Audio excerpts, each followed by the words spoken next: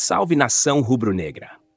Aqui é o canal Redação Ninho do Urubu, onde a paixão pelo Mengão não tem limites. Hoje temos um cardápio de notícias quentes diretamente do mundo rubro-negro. Prepara o coração, porque vai ter explosão de informações. Se você está chegando agora, não bobia. Se inscreve no canal, ativa o sininho e já deixa aquele like para fortalecer nossa família rubro-negra.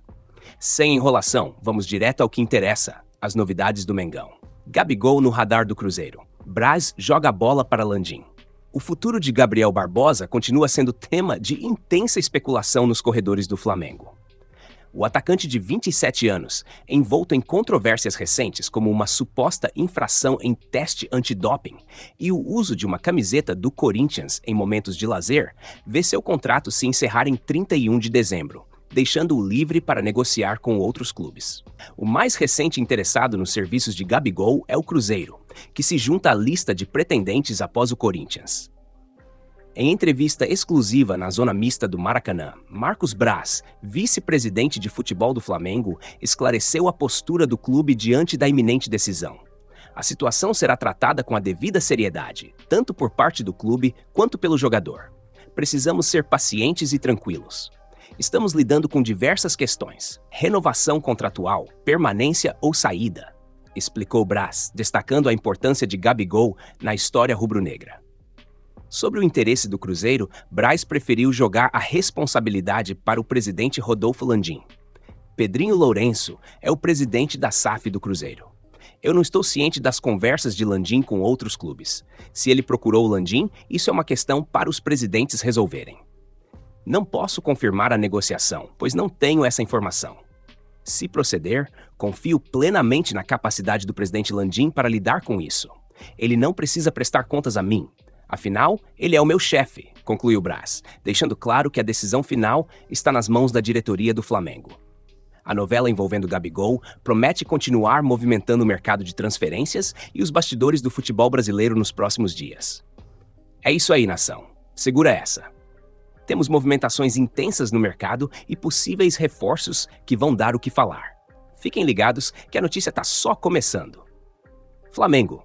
Avança por Marcos Antônio. Negociações com a Lazio em curso. O Flamengo segue determinado a reforçar seu plantel sob o comando de Tite e não perdeu tempo ao oficializar uma proposta para contratar o meio-campista Marcos Antônio, atualmente na Lazio. Segundo apurado, o clube carioca fez uma oferta inicial de empréstimo com opção de compra pelo jogador, conforme divulgado pelo respeitado jornalista esportivo Vene Casagrande. No entanto, a resposta da Lazio não foi de imediata aceitação. O clube italiano enviou uma contraproposta ao rubro-negro, aguardando agora a análise interna do Flamengo para prosseguir com as negociações. Marcos Antônio, de 24 anos, recentemente se despediu do PAOK, da Grécia, onde estava emprestado na última temporada, tendo participado de 17 partidas e marcado 3 gols sob o comando de Rasvan Lucescu. A movimentação intensa no mercado da bola indica que o Flamengo está determinado a fortalecer sua equipe para os próximos desafios sob o comando de Tite. E aí, galera apaixonada pelo Mengão, chegou a hora de você mostrar sua raça. Comenta aí em peso e bota o like para fortalecer o Flamengo. Flamengo pode atrair Roberto Firmino de volta ao Brasil. O mundo do futebol pode estar prestes a testemunhar um retorno emocionante. O Flamengo estaria em avançadas negociações com o atacante brasileiro Roberto Firmino, atualmente no Al Ahly da Arábia Saudita. Segundo informações, o clube carioca teria feito uma proposta tentadora ao jogador, que vem se destacando no cenário do futebol árabe. Firmino, aos 32 anos, é reconhecido como um dos atacantes mais completos de sua geração. Formado nas categorias de base do Figueirense, sua carreira decolou na Europa, onde se firmou como peça fundamental no Liverpool, contribuindo significativamente para importantes conquistas do clube inglês. Na atual temporada pelo Al Ahly, Firmino disputou 34 partidas, deixando sua marca com 9 gols e 7 assistências. Apesar de sua adaptação bem-sucedida ao futebol árabe, o jogador tem manifestado saudades do Brasil e um forte desejo de retornar ao futebol nacional.